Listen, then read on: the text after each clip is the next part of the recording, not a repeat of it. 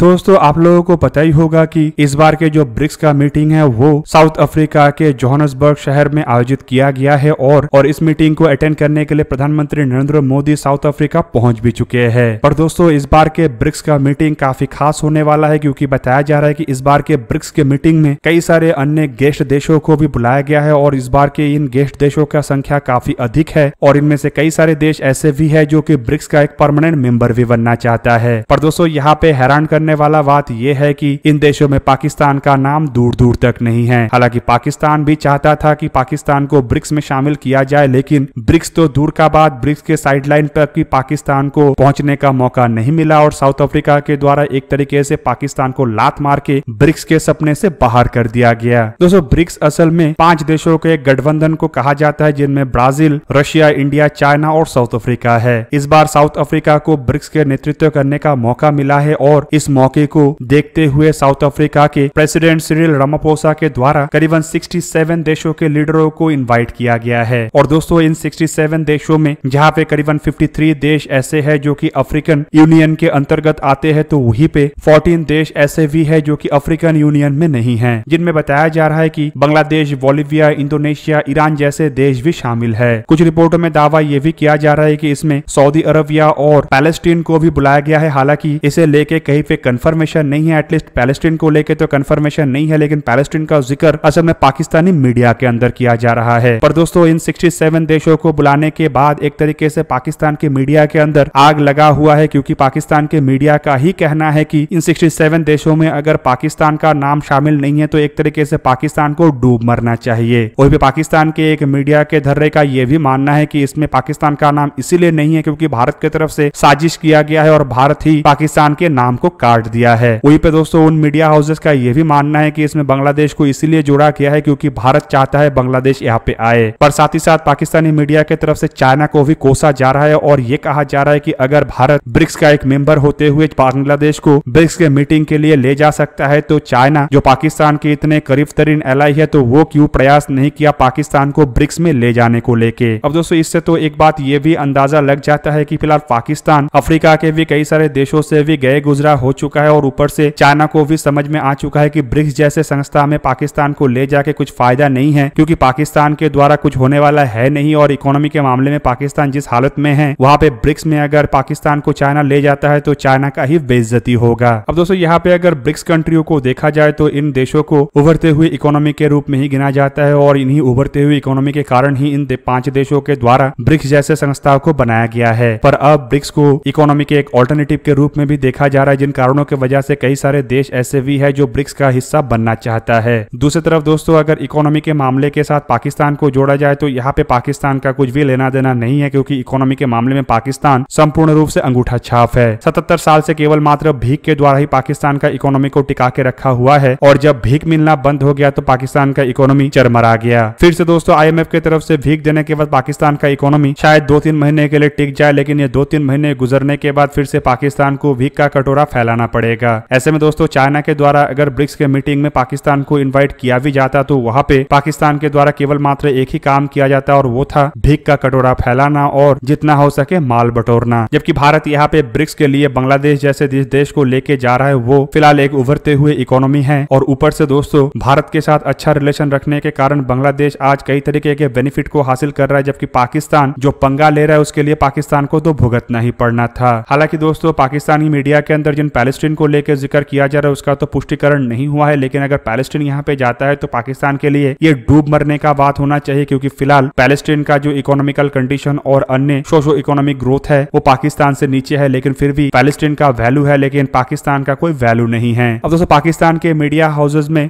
इसे लेके काफ़ी उछल कूद किया जा रहा है और लगातार भारत को कोसते हुए यही कहा जा रहा है कि भारत की वजह से ही पाकिस्तान आज ब्रिक्स में नहीं जा पा रहा है, जबकि दूसरी तरफ़ ब्रिक्स में आज अगर पाकिस्तान नहीं है तो उसके पीछे पाकिस्तान का ही गलती है, क्योंकि वो कभी भी अपनी इकोनॉमी को डेवलप करने के ऊपर तवज्जो नहीं दिया है, बल्कि हमेशा से ही आतंकी गतिविधि फैलाना ही पाकिस्तान का मेन मकसद था। जबकि दोस्तों, अगर भारत की तरफ़ से कोई रणनीति बना के पाकिस्तान के एंट्री को रोका गया है तो ऑब्वियसली ये होना ही था, क्योंकि अगर पाकिस्तान ब्रिक्स का मेंबर होता और भारत इसका मेंबर नहीं होता, तब पाकिस्तान पाकिस्तान की तरफ़ से भी यही प्रयास किया जाता है कि भारत कभी भी इसका मेंबर ना बन पाए। ऐसे में दोस्तों, अगर भारत कोई ऐसा प्रयास किया भी होगा तो इसमें पाकिस्तानी मीडिया को छाती पीटना नहीं चाहिए, क्योंकि वही पाकिस्तानी मीडिया की तरफ़ से लगातार चिल्ला चिल्ला के ये कहा जाता है कि भारत पाकिस्तान का सबसे बड़ा दुश्मन है। तो ऐसे में अगर भारत दुश्मन है तो भारत से किसी भी तरीके का खैर का तवज्जो रखना तो पाकिस्तानी मीडिया को एटलीस्ट नहीं चाहिए। पर दोस्तों, मेरा यहाँ पे मानना यह है कि ब्रिक्स के मीटिंग में साउथ अफ्रीका भी नहीं चाहता है कि पाकिस्तान जैसा कोई ऐसे देश आए जो कि इस मीटिंग को केवल मात्र अपने प्रोपागंडा फैलाने के लिए और भीख के कटोरा फैलाने के लिए इस्तेमाल करे और शायद इन्हीं कारणों की वजह से अगर चाइना की तरफ़ से रिक्वेस्ट रखा भी गया होगा तो साउथ अफ्रीका की तरफ़ से उस रिक्वेस्ट को ठुकरा दिया गया होगा। दोस्तों आप लोगों को क्या लगता है की पाकिस्तान को जो लात मारा गया है, उसके पीछे क्या भारत का हाथ है या नहीं है? कॉमेंट करके अवश्य बताइए। दोस्तों आज के इस वीडियो को यही पे ही करते समाप्त। किसी और एक दिन किसी और एक वीडियो में मिलेंगे। तब तक के लिए जय हिंद, वंदे मातरम।